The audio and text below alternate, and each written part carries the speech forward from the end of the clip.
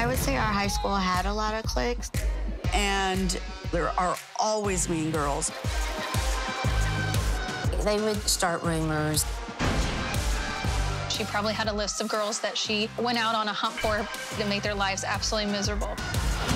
Don't let girls ever have like a one up on you. There's hair pulling, there's punching. The mean girl thing was just getting out of control. I don't think anybody truly realized that it was going to escalate. I don't care what you say. I don't care how you feel. You just know wear the crown. Hey, I make the damn rules. The rumor mill was all over the place. Was this a conspiracy to have one of the girls eliminate the other?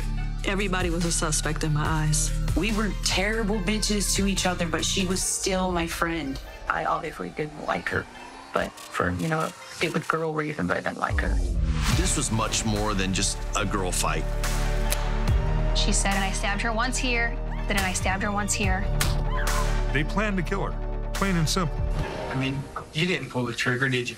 She fired the kill shot.